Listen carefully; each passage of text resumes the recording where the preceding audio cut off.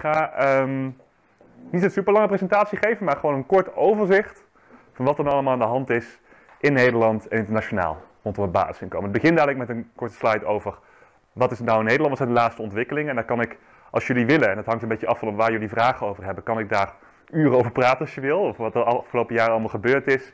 En waar we nu zitten en wat er allemaal voor dingen gespeeld hebben daar. Dat is, dat is echt, uh, ja, dat is waar ik de afgelopen twee jaar heel veel mee bezig ben geweest. Dus daar is ook heel veel over te vertellen. Maar ik ga gewoon in het begin een kort overzicht geven. Um, daarna ga ik iets vertellen over de, wat ik denk nu de belangrijkste experimenten internationaal zijn. Moet ik al wel alvast een disclaimer bij maken in die zin dat ik daar niet per se veel meer inzicht in heb dan jullie. Want ik heb wel uh, door de jaren heen wat meer contact gehad met een aantal van die initiatieven, met name Finland. Maar uh, recent niet per se. Dus wat dat betreft hebben jullie dezelfde informatie als ik, behalve dat ik het misschien uh, enigszins de juiste plek heb kunnen vinden. Dus wat dat betreft uh, ben ik heel voorzichtig ook in wat ik daar zeg, omdat ik uit mijn eigen ervaringen geleerd heb in de afgelopen jaren. Dat wat je bijvoorbeeld online leest, lang niet altijd helemaal klopt. Dus ik probeer daar altijd heel voorzichtig in te zijn in wat zijn nou de daadwerkelijke, wat is de daadwerkelijke stand van zaken. Maar er zijn wel wat heel mooie dingen te vertellen. Dat is eigenlijk waar ik zelf het meest uh, uh, ook heel, ja, heel erg positief over ben, wat er internationaal allemaal gebeurt. En hoe dat natuurlijk uiteindelijk ook weer in Nederland terug kan komen. En als laatste zal ik dat even samenvatten in een soort van blik op de toekomst. Wat is de trend? Waar zijn we naartoe aan het gaan? Waar, lijkt het op? En zijn we de goede kant of de verkeerde kant op aan het gaan? Uh, als je het hebt over uh, goede experimenten uh, die echt iets kunnen leren over het basisinkomen en die ook kunnen leiden tot volgende stappen wellicht. Um, goed, zover. Ja, ik ben Sher dus, voor wie mij niet kent. Ik ben um, een paar jaar geleden als econometrist afgestudeerd. Daarna heb ik gekozen, omdat ik zo met het basisinkomen onder andere bezig was, om niet uh, uh, een baan te nemen, om zelf aan de slag te gaan met projecten, waarvan het basisinkomen uiteindelijk het grootste project werd. Ik heb toen mijn inkomen gecrowdfund om aan de slag te kunnen, met name met het ondersteunen van gemeenten die in Nederland willen experimenteren in de richting van een basisinkomen. En dat heb ik de afgelopen twee jaar eigenlijk gedaan. Dus nu bijna precies twee jaar geleden, misschien wel op de dag precies, zou best kunnen, dat de crowdfund campagne eindigde en dat ik dus mijn crowdfunding voor twee jaar, symbolisch in ieder geval, gefund heb. Dus misschien is wel precies vandaag het. Dat zou best kunnen. Dat is grappig, bedenk me nu. Um, maar ik blijf gewoon, ik doe, ik doe, dit al sinds het begin al daarvoor en ook nu, omdat ik denk dat, dat hier het belangrijkste te doen is en dat het nuttig is. Is zeker niet voor mij zodat ik die twee jaar zie als een soort van baan en daarna niet meer. Dus ik ga hier gewoon mee door voor zover ik nuttig ben. En dat, uh, dat blijf ik uh, uh, ook zo lang doen, zolang dat zo is. Um, en dan zal ik nog wat over vertellen wat daar dus nu met Nederland aan de gang is. Dat is mijn persoonlijke achtergrond op dit moment. Oké. In Nederland, experimenten bijstand, experimenten in de denkrichting van het basisinkomen, zoals ik ze vaak noem. Ik heb dat denkrichting ooit van, van Rutger, Rutger Brechtman, uh, geleend en op mijn eigen manier geïnterpreteerd. Um, er zijn geen experimenten met een volledig basisinkomen, zoals er eigenlijk nog nooit echt zijn geweest, zou je kunnen zeggen. Je kunt altijd wel wat haken en ogen plaatsen bij een volledig basisinkomen, afhankelijk van je definitie. Maar het zijn wel experimenten in de richting die aspecten van het basisinkomen nemen en die dus wel belangrijke dingen kunnen leren en die discussie verder kunnen brengen. En misschien wel de belangrijkste elementen daarvan al naar voren kunnen schuiven om misschien te implementeren. Dus het zou zonde zijn als we alleen maar zouden kijken naar de echt perfecte experimenten basisinkomen, want die zijn er niet. En of die er op, precies op die manier zullen komen, is natuurlijk maar de vraag. Dus dat zul je ook zien in de andere experimenten. Hoewel wel steeds dichter in de buurt lijkt te komen, ook al als een spoiler. Um, goed, experimenten dus in de bijstand in Nederland. Uh, die, die, komen vanuit gemeentelijke initiatieven, zoals jullie waarschijnlijk weten. Uh, en omdat gemeenten natuurlijk uh, niet over het inkomensbeleid gaan in Nederland, niet over de belastingen en die zijn behalve de gemeentelijke belastingen, maar wel over de sociale zekerheid in de zin van de bijstand. dus niet de, de, landelijke sociale zekerheid, maar de bijstand via dit, allerlei, allerlei, de participatiewet in, in, een brede zin. Um, daarom wat voor gemeenten natuurlijk het makkelijkst om daarin te gaan experimenteren. Plus dat dat natuurlijk de bijstand uh, een, uh, een, doelgroep is waarin dit basisinkomen een heel groot verschil zou kunnen maken. In andere doelgroepen kan het ook grote verschillen maken, maar dit is bij uitstek natuurlijk een doelgroep die nu wellicht leidt onder het huidige systeem. En daar zitten, zijn ook heel veel dingen gesignaleerd die jullie ook wel allemaal zullen kennen, waar er toen ook over gepraat werd, waarom hier nu juist veel problemen zitten. En wat, dat is ook een van de redenen waarom het in Nederland zo opkomt, die discussie. Natuurlijk één van de redenen. Ik kan veel vertellen over die hele aanloop, maar ik ga gelijk eigenlijk vast forward naar waar we nu zijn, want daar, uh, uh, daar is, zijn jullie vast benieuwd naar.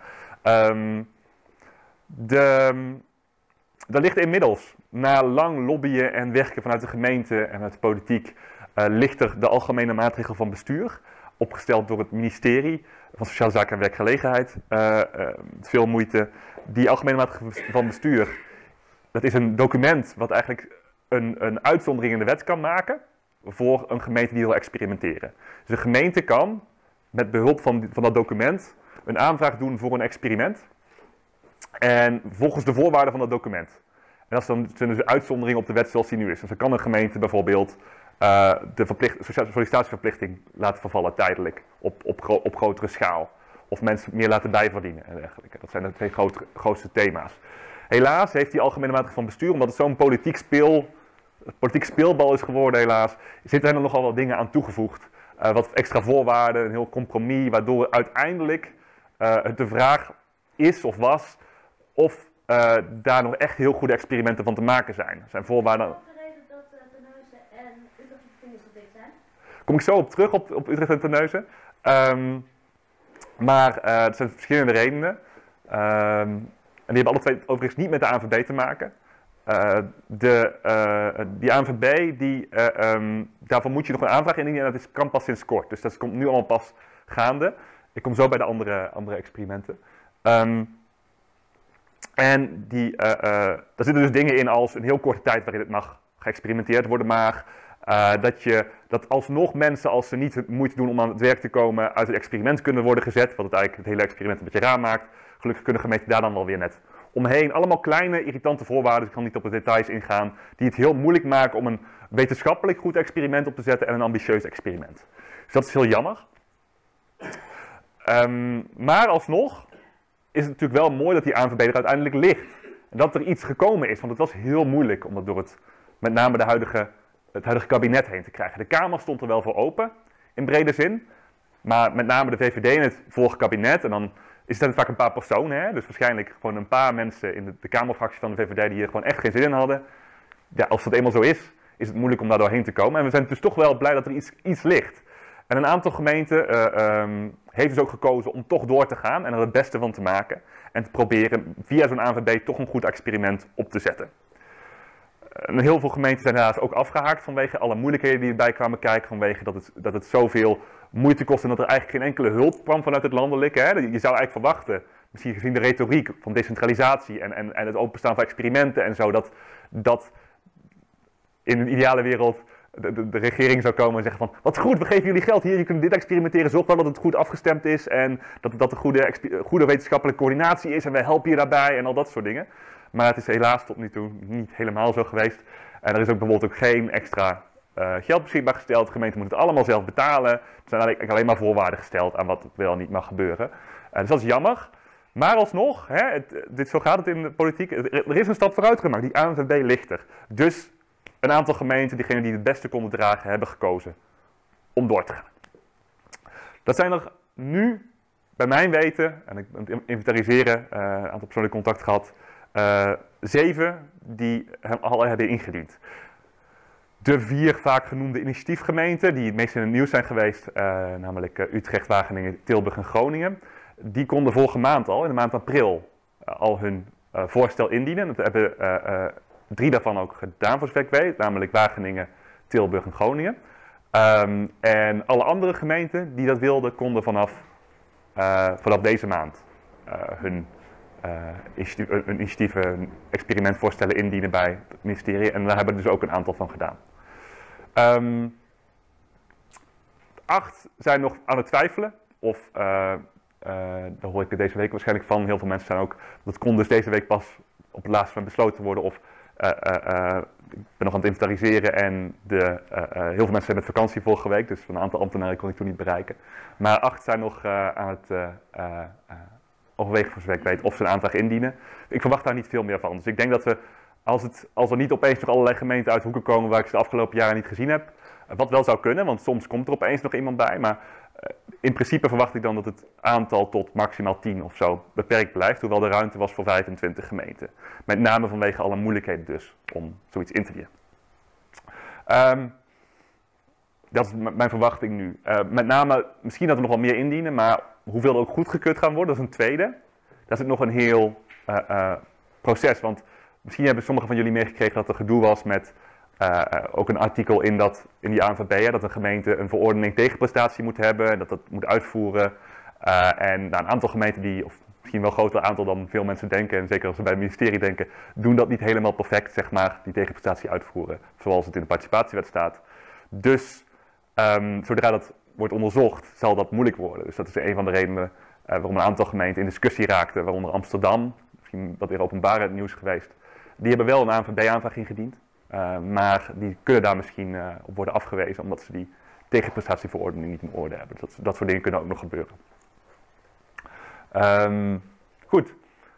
Dan zijn er nog een heleboel andere gemeenten. En daar behoren onder andere Utrecht en Terneuzen tussen. Die nu zoeken naar andere wegen. Utrecht, uh, weet niet zeker, die, die, heeft, dus nog geen ANVB-aanvraag ingediend. Omdat ze, omdat ze eigenlijk dachten, dat is toch te veel ge, zonde, gedoe, niet nodig. We gaan het toch gewoon zelf binnen de huidige participatiewet proberen. Dat was hun nieuwsplan. Die wilde eigenlijk al 1 mei beginnen, vorige week. Um, maar, dat is pas nog in het nieuws geweest, hè, toch weer, uh, er zijn een Kamervraag gesteld door een VVD Tweede Kamerlid. En toen moest het ministerie ingrijpen en toen is Utrecht op de vingers getikt. En nu zijn ze weer in overleg met het ministerie hoe het dan misschien toch wel op een andere manier wel kan. Um, dus dat is heel jammer. Neus is toen ongeveer, in die zin ongeveer hetzelfde gebeurd. Ze hadden een heel mooi slimme omweg gevonden rondom, juridische omweg rondom de participatiewet om toch een soort van experiment te doen. Maar daar was het ministerie natuurlijk niet blij mee toen dat zo in het NOS kwam.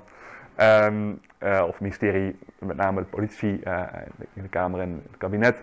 Um, en um, toen is dus ook daar ingegrepen en is er een gesprek gestart waar de vraag is hoeveel daar nu uitkomt. Maar er zijn dus nog andere, creatievere manieren om hiermee aan de slag te gaan. Soms gebruikmakend van bijvoorbeeld het maatwerkartikel in de participatiewet. Proberen dat in te zetten en zeggen, we mogen mensen uh, ontheffen van de, uh, van de sollicitatieplicht. Maar ja, als je dat voor een hele groep mensen doet, kun je juridisch probleem hebben, want dan ben je dus categoriaal bezig met een hele groep in plaats van maatwerk op de persoon. Dus daar zit een beetje spanning en dat is ook waarom Utrecht onder andere nu kan worden teruggewezen door het ministerie. Um, maar er zijn dus nog een heleboel gemeenten die nog steeds hier heel hard aan werken en een experiment in de bijstand willen opzetten.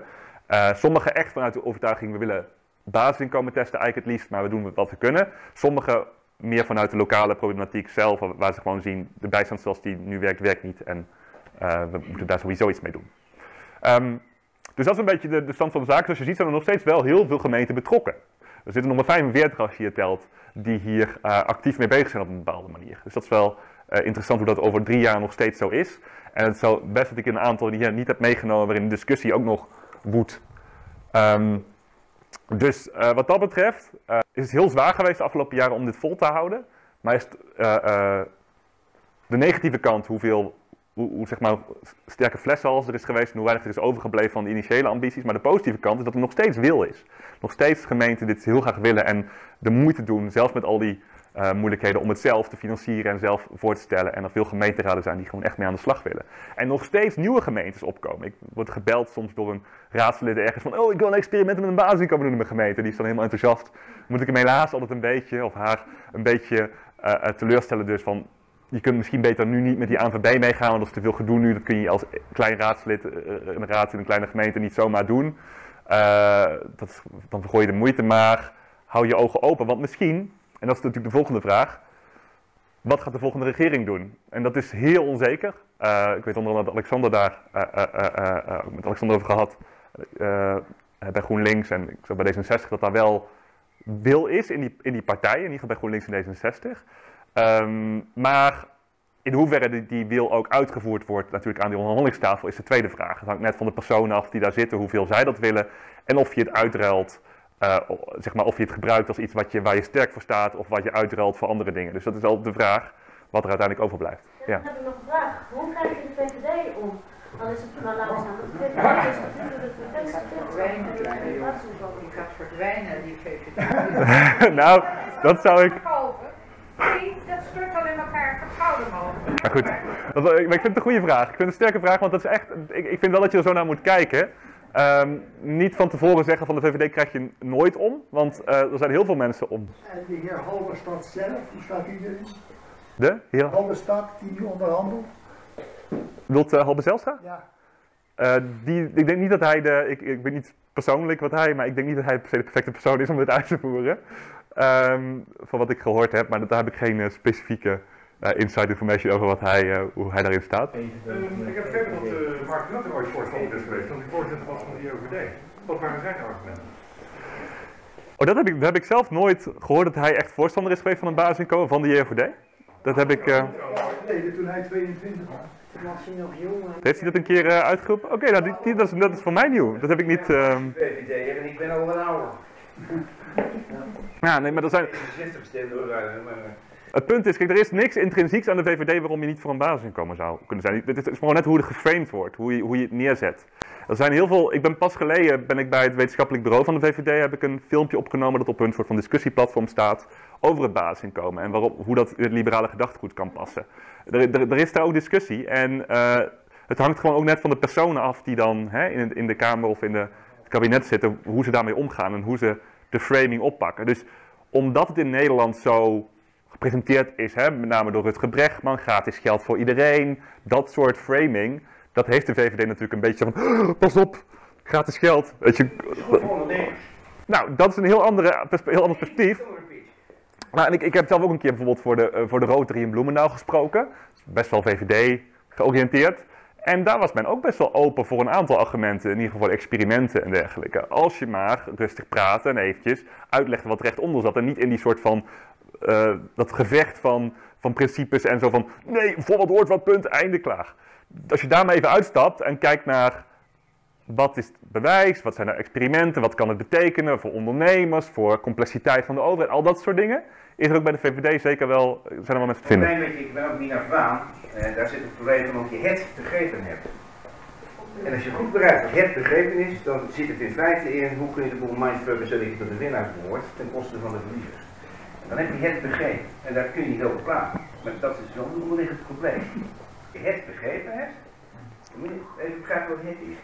Ja, goed, ik ga, ik ga nu, moet trouwens, ook een heel andere discussie, hoe de politiek in Nederland staat en daar ga ik, ga ik nu niet verder op indenken, maar wat wel, het is wel relevant voor de experimenten ook, want het kan, eh, in ieder geval is het heel duidelijk in, het- in programma van GroenLinks en eh, ook redelijk duidelijk in het programma van D66, dat zij echt voor experimenten in, op zijn minst, op zijn minst de bijstand zijn, maar eigenlijk liefst echt een volledige experimentenbasis in komen in beide programma's. Eh, dus het zou, als zij dat goed uitvoeren bij die onderhandelingstafel en het kabinet komt er, dat is natuurlijk nog de vraag, dat is nog lang niet zeker, dan ehm, zou daar kansen zitten. Het kan ook helaas andersom uitvallen als Halbe Zijlstra minister van Sociale Zekerheid wordt, wat ook een optie is, helaas. Ehm, en dan is het misschien beter eh, om eh, maar snel te starten. Ehm, en dat is dus ook een beetje de, de, de aanpak die ik nu ook gemeenten adviseer en die, die, die waarschijnlijk het eh, eh, best om te nemen. Gewoon zo, zoveel mogelijk pakken wat er nu te pakken is, eerst zeg maar aan de slag gaan. En dan hopen dat we natuurlijk dat er nieuwe kansen komen en dat er dan misschien ook nieuwe initiatieven komen voor misschien nog ambi- ambitieuzere experimenten, ook in Nederland. Eh, en dat ligt ook, en dat is de brug eigenlijk denk ik naar, het, naar de volgende slide, dat kan ook liggen natuurlijk aan dat wij, eh, dat ook de VVD bijvoorbeeld naar het buitenland kijkt, of dat we om ons heen naar het buitenland kijken. En als we zien dat allerlei andere landen het allemaal zo normaal vinden om hiermee te experimenteren, dan zal dat allemaal misschien wel meer gaan meevallen in hoe we daarmee omgaan. En dan opeens gaat iedereen zeggen, tuurlijk zijn we daarvoor. Dat is de volgende stap, hè? Ehm, dat is, eh, dan noemen we het gewoon even anders. Dat is wel een belangrijk. Even naamverandering en dan. nou, dat is een heel ander verhaal. Ehm, experimenten in andere landen. En dit is echt iets om heel enthousiast over te zijn. Eh, Nederland is iets om enthousiast over te zijn. Ik denk zelf heb ik de hypothese dat de grootste impact die de experimenten in Nederland tot nu toe gehad hebben. Behalve dat ze, zijn nog niet gestart. Hè. Die starten trouwens, heb ik niet eens gezegd, in oktober, november waarschijnlijk ongeveer. eh, die, als, die, die ANVB eh, hebben ingediend. Ehm, experimenten in de bijstand dus.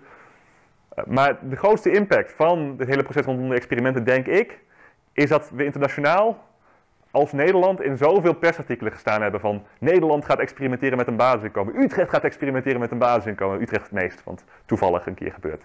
Eh, bij is ooit begonnen, voor wie, die, voor wie de anekdote niet kent, dat ehm, ik denk, dat is mijn hypothese misschien, dat de Independent, Britse krant, eh, eh, Utrecht in de gaten hield vanwege de Tour de France start, twee jaar geleden. Dat, dat denk ik nog steeds. Ehm, en toen eh, hebben ze een artikeltje geschreven over, oh Utrecht wil iets met een basisinkomen doen. En de wethouder geïnterviewd. En dat artikel is soort van viral gegaan, of is door andere nieuwssites opgepakt. En sindsdien gonst over de hele wereld rond Utrecht als een van de basisinkomen-experimenten. Nog steeds, als je kijkt naar overzichten basisinkomen-experimenten die staan te gebeuren, zie je een plaatje van Nederlandse met oranje vlaggen zo mensen staan en zie je Utrecht er al tussen staan. Dus het is, maar dat effect is wel dat het daarmee in andere landen ook weer normaler wordt. En als wij weer naar die artikelen kijken, wordt het ook weer normaler. Dus dat is best een groot effect en niet te onderschatten. Uh, tot aan de, de, de grootste adviseuren in India, de economische adviseur in India, mag staan toe die Nederland noemt als voorbeeld van een van de landen waar dit overwogen wordt. Nou, dat soort dingen zijn niet te onderschatten. Um, maar dat is dus ook andersom kan het plaats gaan vinden, want in andere landen streven ze ons wat experimenten betreft echt wel een beetje voorbij. Um, en misschien dat daar nog verandering in komt, misschien niet, maar het is mijn zin een heel mooie ontwikkeling. Um, hoe staat het ervoor? Nou, ik, ik, voor mijzelf, voor zover ik weet, zijn dit de vier belangrijkste om nu in de gaten te houden. Uh, daarnaast heb je nog een heleboel kleinschaligere uh, of onzekere initiatieven. Ik noem hier nu Glasgow, Livorno, et cetera, kleinere initiatieven, crowdfunding initiatieven enzovoort.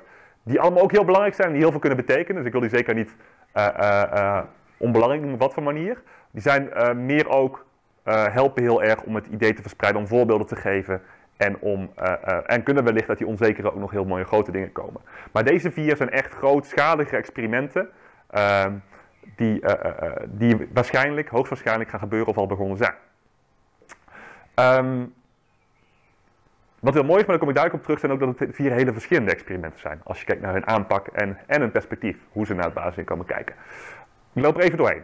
Finland, met een aantal belangrijke dingen daarbij, om te zeggen, ik leg het even uit. Finland is, zoals jullie waarschijnlijk al weten, januari begonnen met een experiment. Uh, het gewoon begonnen. Uh, het is, er is veel op aan te merken. Het wordt, in Finland is er ook veel, wordt er ook veel op aangemerkt. Maar ze zijn wel begonnen. En ze hebben een, 2000 personen die wel gebruik maakten van de sociale zekerheid, die bij het UWV daar zeg maar staan ingeschreven. Die krijgen nu een onvoorwaardelijk basisinkomen van 560 euro per maand. Geen vetpot, maar het is een begin. En het is wel ook een normale uitkeringshoogte voor mensen in Finland. Um, belangrijk daarbij is dat het echt een basisinkomen is in de zin, er is een 0% clawback, wat ik hier noem. Ik heb niet het Nederlands goede woord daarvoor, maar 0% clawback bedoel ik mee, er is, als je gaat verdienen daarbovenop, raak je niks van het basisinkomen kwijt. Dus er wordt niks teruggeklapt, zeg maar. Er, er, er is, je houdt het altijd, als je gaat werken. Dus iemand kan een fulltime krijgen, krijgt nog steeds het basisinkomen in dit experiment. Um, duurt maar twee jaar, is niet lang. Maar daar moet wel bij gezegd worden dat de onderzoekers in Finland, um, die overwegen echt ook al, en zijn al, nu al bezig met nadenken over vervolg hierop, over uitbreiding hiervan, over meer ambitieuze varianten waarbij je andere groepen meeneemt enzovoort. Dus daar wordt al naar gekeken. Dus het is, echt, het is daar gewoon begonnen. Die twee jaar is er. En wie weet komt er nog wel veel moois uit, misschien ook niet. Maar ja, het staat er nu. Dus het is wel echt heel belangrijk dat er gewoon een experiment begonnen is. Uh, dus uh, ondanks alles wat erop aan te merken is, denk ik een heel mooie ontwikkeling geweest. Tweede is um, Ontario. En dat is een heel leuke, een heel mooie recente ontwikkeling. Um, die lag al een tijdje een beetje in de pijplijn. Misschien hebben jullie ook het nieuws gezien recent. Dat ze het plan gepresenteerd hebben. En ook daar gaat het ook opeens heel hard. Voor zover ik, ik, heb hier geen, uh, niet veel inside information over. Maar het mooie bij, wat je bij Finland en Ontario ook ziet. En dat maakt het zo, zo anders dat, dat de overheden daar hun eigen website hebben gemaakt. En zeggen, dit is ons basisinkomen experiment. Dit gaat er gebeuren. Dus die zijn hun eigen inwoners aan het inlichten van dit gaat er gebeuren. En heel duidelijk, overzichtelijk, betrouwbare informatie. Dat is heel wat anders dan de nieuwsberichten die zeggen van, oh deze gaan dit doen en deze gaat 700 euro aan, uh, aan de mensen geven, zoals vaak over Utrecht is gegaan. Dit zijn echt um, twee die het ook beestje bij naam noemen, basisinkomen willen noemen. Uh, kun je natuurlijk ook vragen of Finland het volledig is, maar, uh, of Ontario ook, maar toch, ze, ze, ze, ze, noemen het, presenteren het echt als, dit gaat over het basisinkomen. Um, en Ontario heeft dus een eigen website al die je kunt zoeken van hun eigen overheid die uitlegt waar je ook onder, andere deze gegevens op kunt vinden. Behalve de 4000, daarom heb ik er een vraagteken bij. Dat is wat algemeen wordt gerapporteerd in nieuwsberichten. Uh, ik heb even niet uh, de, uh, het, het, officiële document gevonden waarnaar dit verwijst, dus daarom zet ik er even een vraagteken bij. Um, en ik vraag me ook even af of dat inclusief of exclusief controlegroep is. Dus dat zijn wel belangrijke dingetjes om erbij te nemen natuurlijk. Maar een, een relatief significant zeg maar, aantal mensen dus. En ook heel mooi, goed onderzocht, goed voorbereid. drie jaar al iets langer. Um, ongeveer equivalent aan 1000 euro per maand wat ze daar krijgen, van 1600 Canadese dollars voor een individu. Het is, niet voor, het is in die zin niet volledig individueel dat een, een, een stel krijgt ongeveer anderhalf keer zoveel. Dat is goed, bedenk samen. Um, en als je een, uh, uh, uh, je hebt dus een 50% clawback rate, dus voor elke euro die je verdient raak je een halve euro van je basisinkomen kwijt. Dus het is meer een negatieve inkomstenbelasting experiment dan, um, dan een volledig basisinkomen experiment. Maar hij heeft dus wel heel veel van de belangrijke aspecten. Um, Daarnaast uh, nog leuk om daarbij te vermelden dat ze daar ook bijvoorbeeld bij doen dat uh, mensen met een, met een arbeidsbeperking 500 dollar erbovenop krijgen nog. Dus het is niet zo dat ze daar alle, zeg maar, het, per alles willen vervangen van ook zeg maar, wat hier de, de oude WAO, de WIA en zo had. Maar dat, dan krijg je dus een extra toelage dan nog bovenop. En je hebben? Dus dat gewoon alles dat weet, ik, dan weet ik de details helaas niet van. Maar ik neem aan dat het gewoon hetzelfde als in Nederland is dat je daar gekeurd wordt. En misschien dat het ook uh, proportioneel is, maar dat durf ik niet te zeggen. Goeie vraag. Um, Wat zijn eigenlijk de succescriteria voor gemeente? Goeie vraag. Dat is een, uh, daar kom ik zo ook nog op terug, maar dat is een heel goed dat je die stelt. Want um, daar is Ontario ook weer heel mooi in. Ontario, als je naar het lijstje kijkt, dan word je gewoon gelukkig als je dat ziet. Wat zij, wat zij meten. Iets van zeven criteria. Ze kijken echt extreem breed. Ze kijken naar alle dingen die je zou willen meten. Wat het doet met gezondheid, wat het doet met mentale gezondheid, met, met, met geluk eigenlijk. Wat het doet met uh, onderwijs en initiatieven en dat soort dingen. wordt allemaal meegenomen in hun uh, experiment. Ze kijken echt in de breedte. En dit is eigenlijk een experiment waar je soort zou kunnen dromen bijna. Uh, je kunt er natuurlijk nog steeds kritiek op hebben als je wil dat het volledig individueel is. Of als je wil dat er geen clawback in zit of wat dan ook. Maar ik, ja, ik word er in ieder geval heel blij van. En uh, het kan altijd beter, maar het is echt een stap. Um, en die willen, die hebben ook nog eens heel mooi breed gekeken. Een deel gebeurt in een stad, een deel gebeurt echt op platteland. En een deel gebeurt in een gemengde, van een halve stad, half platteland uh, gemeenschap. Dus dat soort dingen bekijken ze ook nog mooi. En um, moet ik nog meer over zeggen? De blijheid van ondernemers mee? ik denk dat het er wel zo goed, zo goed kunnen dat het, er, dat het erin zit. die mensen die dat soort mensen in dienst nemen, dit vergelijken met een uh, ondernemer die niet dat soort mensen die uh, dingen, dus die dat met elkaar vergelijken, dan kun je goed argumenteren naar ondernemers doen. Ik weet, ik, weet, ik, weet, ik weet niet of dat, ik denk niet dat het een lijstje is, maar kan best dat er uiteindelijk nog wat soort dingen meekomen. Maar dat, daar moet ik het lijstje. Dan kun je dus nu op de. Dus als je zoekt, uh, googelt op Ontario uh, Government uh, Basic Income Experiment, dan kun je waarschijnlijk de website wel vinden. Um, en het mooie daarvan is, ze willen al. wat er nu staat op een website is dat ze late spring, dus eind van de lente, willen beginnen in twee van de steden. En de laatste volgens mij in de zomer of in de de herfst van het, derde deel ervan. Dus het is echt actietijd. Um, Mag ik even vragen? Die Ja. mensen die zitten allemaal zonder werk of zijn er ook mensen die werk hebben? Nee, je mag werken, maar er zit dus wel een clawback rating. Wat betekent dat uh, als jij meer dan 2000 euro per maand verdient, dan zul jij niet deel zijn van het experiment. Um, dus het is wel mensen met een lage inkomen, maar niet per se mensen zonder werk. Nee, oké. Okay. Ze hebben gewoon uh, een groep in een wijk genomen of zo. Ja, ze gaan loten tussen alle mensen die het zouden kunnen zijn. aanmelden. En dan gaan ze. Volgens mij is het andersom. Volgens mij gaan ze loten en krijgen mensen dan een uitnodiging en dan kunnen ze zich aanmelden. Maar het kan in ieder geval. Het, het, het, Maar niet mensen die niet werken zitten. nee, niet per se. Nee, het is echt uh, mensen met een laag inkomen gewoon. Uh, misschien dat ze dat wel gebruiken, die databases ervan. Maar het gaat niet om dat een uitkering vervangen wordt. Het gaat echt om iets wat. Uh, wat doet. Wat hier zo weer onderzoek is dat er zijn mensen die nu werken en minder krijgen dan de bijstand. En ze willen ook zien, wat gaat het met die mensen doen?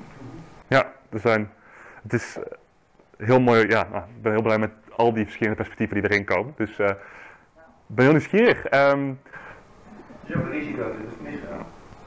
ja, maar ja, tuurlijk. Klopt. Het punt is, als, als, want dat is namelijk een van de vervelende dingen die zou kunnen gebeuren, daar moet je erg goed op letten, dat er regels ingebouwd worden waardoor het een maar als degene willen dat het mislukt, dat je dus sowieso een mislukt experiment krijgt. En daar moet je, voorop- daar moet je er over voor die mindfuck moet je oplossen. Nee, klopt. Je- Heel goed, dat is een heel goed punt. Het ligt aan hoe je, hoe je het vreest. Dus ehm waar je heel veel moet oppassen, dat je geen slechte experimenten opzet en daar dan met, met rare dingen die je gaat meten, waardoor je het helemaal kunt discrediteren op, op verkeerde gronden. Dus zoals natuurlijk de voorbeelden, hè, de jaren 70 met, met, met Nixon en al dat soort dingen. En wat voor dingen in de media komen, maakt zoveel uit uiteindelijk hoe zoiets wordt beoordeeld. Het gaat uiteindelijk helaas niet eens zover om wat er echt uitkomt, maar vooral om hoe dat dan gepresenteerd wordt aan het grotere publiek. Ehm, en, en hoe politici het interpreteren. Ehm, maar dat is bij Canada dus bij uitstek, lijkt, nu- ziet er nu heel goed uit. We zijn heel serieus, ze zitten echt te denken aan dit willen we op de lange termijn misschien gaan invoeren. Ehm, dit is gewoon, eh, ze zijn daar helemaal voor. Het komt ook denk ik dat je een goede premier, of een, premier, een hele goede premier heeft, waardoor de top-down dit de mogelijkheid krijgt, dus een eerlijke kans. Nou, dit is, Ontario is, eh, Canada is een federale, Het ziet er aan uit dat als de, als de, de, de, de, de Big Boss vindt dat dit moet komen, dan gaat het goed. Als de Big Boss denkt van nee, ik moet eh, een andere ding. moet ik wel zeggen dat Canada is een federale eh, federale staat. Dat? Ja, en Ontario is echt wat dat betreft redelijk onafhankelijk. is andersom hier in Nederland. Quebec is bijvoorbeeld ook heel onafhankelijk. Daar wordt ook nog, of werd ook nog, eh wordt basisinkomen echt als beleidsoptie overwogen. Ehm, of dingen daar in de buurt. Ontario is, is dus wel onafhankelijk van, van Trudeau bijvoorbeeld, eh, doen ze dit. Dus het is niet dat ze daar toestemming volgens mij zelfs voor nodig hebben van de nationale overheid. Dus dat is wel interessant. Maar het helpt wel natuurlijk als je liberale partij... Het punt is waar de meeste bazen mee werken, de meeste mensen die doen, die zeggen van ja, Ja. jij geeft geen recht bij de mensen en dus moet jij eruit. En hoe komt dat? Dat de mensen zeggen wat, zeggen wat de baas in je nog wel uitstraalt dat ze niet wil horen. En daar zit een groot gedeelte van de hele grap in. Als je Ja. een, prime minister hebt die voor de baas inkomen heeft, gaat het vliegen. Het helpt, ja. Eigenlijk tegen is degene de belangrijke positie, dan kun je willen wat je wil, maar dat durft men niet. Klopt, dat, maakt heel, het is, dat is ook mijn eigen ervaring. Het maakt heel veel uit wat gewoon personen een bepaalde posities ervan vinden. Het hoeft maar één of twee personen te zijn die heel erg ervoor strijden of die er heel erg tegenwerken, wat heel veel verschil kan maken. Dat hebben we ook in Nederland heel duidelijk gezien. Ik ga even, even snel doorheen, want dan kunnen we nog bij het laatste stuk komen en dan kunnen we daarna wellicht nog andere discussie hebben. Dus als je nog een vraag hebt, laten we heel even verduidelijkende vragen doen. Eh, en anders eh, dan kunnen we op het einde nog eventjes eh, breder discussiëren. Ehm, Kenia vind ik zelf ook heel mooi. Ehm, heel andere invalshoek weer. Het meest ambitieuze zou je op een bepaalde manier kunnen zeggen. Ehm 12 jaar, tot, tot 12 jaar kunnen mensen daar een soort van basisinkomentje krijgen. Ehm, net hoe je het ziet, 6000 personen krijgen uiteindelijk zo'n lange termijn basisinkomen van 12 jaar. 26.000 personen zullen in totaal ongeveer meedoen aan het hele experiment. Er zitten ook nog andere groepen in, controlegroep natuurlijk. eh, maar ook mensen die eh, in plaats van een volledig basisinkomen een, een, een, direct een grote som geld krijgen en het gewoon dan kunnen gaan gebruiken voor langere termijn. En mensen die kortere termijn basisinkomen krijgen. Of een kortere termijn, dus die som geld is, is voor kortere termijn. Dus er zijn verschillende groepen, maar 6000 daarvan krijgen ook echt zo'n 12 jaar lang basisinkomen. 20 euro per maand. Klinkt niet echt heel interessant, maar is het natuurlijk wel. Want dit zijn mensen die vaak in echt extreme armoede leven. Dus het kan een enorm verschil maken. En ehm, heel interessant zijn wat, daar, wat daaruit komt. En ook daar geldt natuurlijk geen clawback rate. Dus geen verlies van het basisinkomen als je gaat werken. Ehm, en eh, ja, dit is ook een, een revolutie in eh, ontwikkelingswerk wat dat betreft. Eh, en, maar ook heel inspirerend voor basisinkomen-experimenten. Ook al kun je dan misschien die dingen direct vergelijken. Het zegt wel iets over hoe je met mensen omgaat of hoe je naar mensen kijkt. En of je ze gaat zeggen van je kunt dit doen, of hier krijg je je boeken, of hier krijg je je koe of wat dan ook. Of dat je zegt, en hetzelfde doen we hier in de bijstand, met hier krijg je deze baan of dat, dat, eh, dat idee. Of dat je zegt, hier heb je vrijheid om te kiezen wat je wil doen en de mogelijkheid om ook jezelf te bewegen zonder zorgen te maken en dan kijken wat eruit komt en vertrouwen erop dat er iets moois uitkomt. Eh, dus dat, zijn, dat is in die hele discussie ook heel inspirerend, wereldwijd, veel publicitaire aandacht. Doen daar ook heel erg aan mee. Eh, zijn toevallig ook gelinkt, Give Directly, aan het andere werk waar ik mee bezig ben. Dus dat vind ik ook nog wel heel leuk. Dus, eh, die zijn, zijn een organisatie die heel goed onderzoek doet naar wat ze doen en ook echt zoekt naar de meest, ja, de, de, op basis van onderzoek en soort van nadenken, de meest effectieve manieren om levens te verbeteren in de wereld. Dus dat is heel, heel mooi initiatief. Ehm, vier, Oakland. Weer een anders perspectief. Namelijk dat van eh, Y Combinator, zo'n start-up incubator in, eh, in eh, Silicon Valley. Een van de bekendste. waar onder andere Reddit en volgens mij Airbnb uitgekomen zijn. Dus die helpen start-ups om echt heel, zich voor te bereiden om heel hard te gaan groeien en om heel succesvol te worden. Ehm, en zij hadden opeens het idee, nee, we gaan iets nieuws doen. We gaan even geen start-up helpen, we gaan een, een, een basisinkomen-experiment doen. Want dat lijkt ons heel relevant gezien de ontwikkeling in de technologie en eh, automatisering. Maar ook de, met name echt op langere termijn grotere schaal. Wat nou als er echt kunstmatige intelligentie is die extreem veel kan overnemen. Nou, wat, wat moeten we dan doen? We moeten naar alternatieven kijken. Dus, experiment basisinkomen. In de VS, Oakland, California, eh, vlak naast San Francisco. Daar zijn ze al begonnen met een paar dingetjes uitproberen, als ik het goed begrijp. De precieze details van het experiment zullen denk ik binnenkort naar buiten komen. Eh, voor zover weet zijn die er nog niet, maar die op zeer korte termijn. En dat kan ook nog een interessant experiment komen vanuit de private hoek, dus heel anders weer. En wellicht ook heel interessant voor mensen bij de VVD met name. Daar, zit, zitten, wel eh, goede kansen bij dat dit soort dingen gaan helpen. Weer een heel andere groep mensen te overtuigen dan bijvoorbeeld wat de Give Directly doet of wat, wat eh, Finland doet of wat dan ook. Dus dat is mooi. Ehm, tot zover in de overzicht. Er is natuurlijk veel meer te vertellen over de hele geschiedenis daarvan. Ja, laten we, laten we nog even doorheen lopen. Eh, Ik denk dat het duurt niet heel lang meer, de presentatie. Een paar vragen beantwoorden en dan eh, denk ik gewoon lekker verder praten onder de koffie. Dat lijkt me... De koffie. Gelukkig hebben we volgens mij thermoskant. Ik hoop dat houdt hij nog wel even vol. Ehm, het gaat de goede kant op.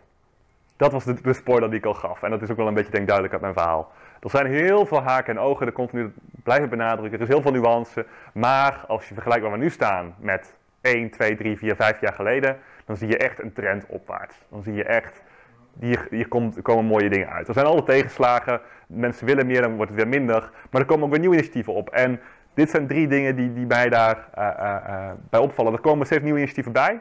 Sommige dingen, uit het niets komt er opeens een initiatief dat de rest voorbij streeft. Neem Canada. Er was al langer in voorbereiding, wist wel een beetje dat het iets moois kon worden. Maar opeens is het er. En is het heel ambitieus en wil het meer dan de rest. Ehm, Finland was ook, ook heel snel gekomen. Uh, streefde toen Nederland voorbij in de, in, in de ambitie op dat moment. Ehm, nou, zo, kan het ook met bijvoorbeeld Oakland uh, Y Combinator gaan, misschien ook niet, maar er blijven dingen bij komen. Ja. Hoe zit het daar met Alaska, het sociale identiteit van uh, Alaskan Oil Company? Uh, dat bestaat gewoon. Dat bestaat dat is, dat is toch ook eigenlijk? Dat wordt vaak als voorbeeld genoemd. Het is natuurlijk ook, het is weer geen volledig basisinkomen, maar heeft er wel uh, neigingen van. Het is niet iets waar je volledig van kunt leven. Het is voor mij meestal rond de, rond de 2000 euro per jaar of zo, maar het wisselt heel erg. Uh, uh, dus, dus het is een mooi extra onvoorwaardelijke geldsom. hetzelfde geldt volgens mij voor Noorwegen. Um, dus dat zijn voorbeelden van dingen die op een basisinkomen lijken die bestaan. Net zoals je de AOW in Nederland zo'n voorbeeld kunt noemen. En, en waar je wat een inspirerend voorbeeld kan zijn om er naar te kijken. Want waarom als het daar kan en goed werkt, waarom zou je dat dan ook niet ook hier in Nederland doen? Ja, als ik dan aanvul op Alaska, het interessante is, de politici geprobeerd hebben om dat weg te halen. In 2000 euro kunnen we andere dingen gebruiken. En dat dan de bevolking zegt, dat willen we niet. Ja. Dus als het er eenmaal is, is er een enorm draagkracht. Ja, ja. Je vergeet twee andere soorten experimenten. Uh, Mein Grundeinkommen in Duitsland. Uh, dat is gestart ooit. Uh, daar is een jongen gestart die zegt van nou je kunt geld storten en dan gaan wij loten wie er een basisinkomen krijgt. Er zijn dus nu al 70 mensen Ja. geweest die een jaar lang een basisinkomen hebben gehad. En dat is ook een experiment waar je kan kijken van wat hebben die mensen gedaan en die waren het. Want het is- je kunt wordt gewoon uitgeloot daar. In Nederland zijn we eh, deze maand aan de laatste maand bezig van het tweede basisinkomen van ons basisinkomen.nl. Anne is kunstenares en die eh, eh, heeft nog één maand basisinkomen. 1 juni gaat ze voor zichzelf beginnen om te crowdfunden. Dan kun je gewoon geld overmaken. Als er 100 mensen zijn die een tientje in de maand overmaken naar haar, dan heeft ze weer een jaar basisinkomen. Dat zijn ook leuke experimenten. Zeker, ik, ik noemde ze net heel kort, ik had ze meer kunnen benaderen. Ik noemde ze net kort onder de kleinere initiatieven of de ehm, onzekere, maar dit is een kle- kleinschaligere. Eigenlijk wel goed inderdaad om dit even te benadrukken, want eh, met name mijn grondinkomen is ook in zijn succes best wel groot. Wat je zegt, 70 al geslaagd. Ehm, we hebben ons basisinkomen in Nederland, we hebben My Basic Income in de Verenigde Staten bijvoorbeeld. Al dit soort dingen dienen, eh, zijn nou, het is moeilijk om daar echt zeg maar, wetenschappelijke conclusies uit te trekken, omdat het vaak heel veel selectie bias in zit, zoals het wordt genoemd. En mensen melden zich aan daarvoor, dus je hebt bepaalde type mensen die dat willen, nou, enzovoort. Ehm, maar het is wel eh, heel inspirerende voorbeelden, verhalen die uiteindelijk soms nog veel meer helpen dan een soort van droog ex- experiment wetenschappelijk gezien. Dus laat terecht, die moet ook even benadrukt worden. Nog een mooi eh, extra ding van wat er allemaal gebeurt. Ehm, los van nog alle dingen die niet experimenten zijn natuurlijk, die ook vandaag niet aan de orde komen, maar burgerinitiatieven en dergelijke. Ehm, ik vind de tweede ook belangrijk om te benadrukken, namelijk dat de initiatieven blijven sterk variëren. Zowel in invalshoek als aan- aanpak. Zijn we net al een beetje lang, langsgekomen. Dat ehm, eh, het zou bijna niet mooier gevarieerd kunnen. Als je naar die vier grote kijkt die ik net noemde, en als je nog eens Nederland erbij pakt, misschien als vijfde, dan zie je dat, alle, dat je lokale experimenten hebt hier in Nederland. Je hebt op provinciaal niveau, eh, nou, Frankrijk een beetje, maar met name eh, Canada is federaal wel iets groter, maar toch op, niet volledig staatsniveau. Je hebt staatsniveau, Finland. Je hebt ehm, privaat, eh, dus, dus Y Combinator. En je hebt de, de goede doelensfeer, NGO, Give Directly. Hebt al die dingen, is er precies eentje van uitgekomen die het daar oppakt. Dat is fantastisch, vind ik. Ik denk dat dit een van, die diversiteit is een van de grote krachten. En een van de kansen om te voorkomen dat het op zo met één experiment, wat het terecht genoemd wordt, wordt weggeserveerd. Dat al die verschillende manieren, al verschillende mensen die daarbij betrokken zijn, daar ook bij betrokken zijn en het van de andere kant bekijken. En als er dus één van die dingen mislukt, dat niet gelijk de rest zegt van, oh, wij doen hetzelfde, we stoppen ermee. Maar dat iedereen zijn eigen dingen kan testen. En dat we zo kunnen zoeken naar de beste modellen. Ehm, dus het zit zowel in die invalshoek, ik neem net de, de, de, eh, eh, of die aanpak, dus de, het niveau, wie het, wie het uitvoeren, maar ook in de dingen die je gaat meten dus. Gelukkig zien we daar wel een trend in, staat ook daaronder, kwaliteit en dieptebreedte onderzoek van dat er steeds meer breed gemeten wordt. Maar toch zijn er wel dingen die benadrukt worden die verschillend zijn in die experimenten. En die dus ook waarschijnlijk de headlines meer gaan halen. En wat dus heel belangrijk is. Dus een, een experiment van Y Combinator of van Give Directly, dus in, in, in, uh, in Kenia, is, uh, heel, zal heel andere soorten dingen testen en benadrukken. Uh, in Finland bijvoorbeeld zie je eigenlijk, uh, is de nadruk ligt heel erg op de complexiteit van het systeem en juist dat het mensen meer aan het werk zou helpen als je de armoedeval weghaalt. Dus dat mensen simpelweg een basisinkomen hebben daar bovenop kunnen gaan werken. Dat is een heel andere invalshoek dan je bijvoorbeeld in Ontario ziet, waar het echt meer op de brede uh, well-being zeg maar ligt. dat is weer heel wat anders dan bij Give Directly, waar je meer ook ondernemerschap van kleine gemeenschappen en zo gaat testen en zien hoe mensen hun heft in eigen handen nemen om zichzelf om uit de armoede te halen. Nou, al dat soort dingen. Fantastisch dat het allemaal aan elkaar komt. Dat is denk ik een van de grootste krachten van de huidige ontwikkeling die hem duurzaam maakt op een bepaalde manier. Um, het laatste deel, al een beetje opgenoemd, initiatieven worden op bepaalde manier, of zijn in ieder geval serieus en ambitieus. Dat is heel mooi. Het zijn niet zomaar ideeën. Het zijn dingen die dus echt door overheden worden uitgewerkt, zoals de Finse overheid, zoals die van Ontario. Um, het zijn, uh, uh, er worden goede kwaliteit onderzoek wordt er verlicht. Uh, het, het, um, echte topwetenschappers in de wereld worden erbij betrokken. Uh, kijk naar Y Combinator of met name naar, naar bijvoorbeeld Give Directly, die gewoon van de, de grootste namen in het, in bijvoorbeeld erbij betrekken van MIT en van Harvard en weet ik allemaal niet waar ze het vandaan halen.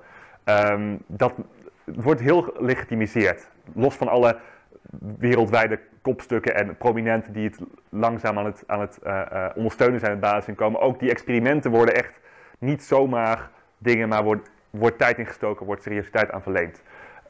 De, de, de intrinsieke eigenschappen, de inhoudelijke eigenschappen worden ook steeds mooier. Dat komt er automatisch natuurlijk bij als je het echt goed wil gaan onderzoeken. Aantal deelnemers, je zag uh, 2000, 3000, 4000 of 6000 uh, langskomen. Dat worden echt mooie aantallen dan bijvoorbeeld in één gemeente in Nederland uh, het kan zijn. Um, de hoogte en eigenschappen van basisinkomen, je ziet daar varianten in. Ook belangrijk, goed dat dat gebeurt. Um, je ziet wel ook dat er echt, dat er niet alleen over kleine stappen wordt gekeken, maar ook naar, naar die toekomst.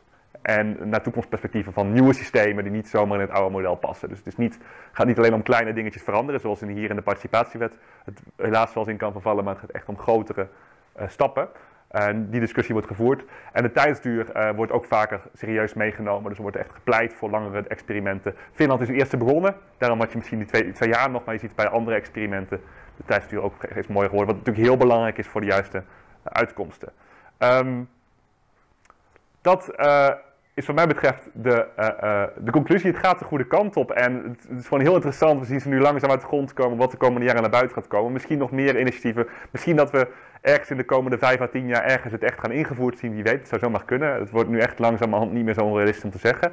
En um, ook de, ja, de, de de toon van de conversatie, zeker internationaal, is zo erg aan het veranderen. Um, dat is, uh, uh, vind ik prachtig om te zien. Dus uh, dank jullie wel.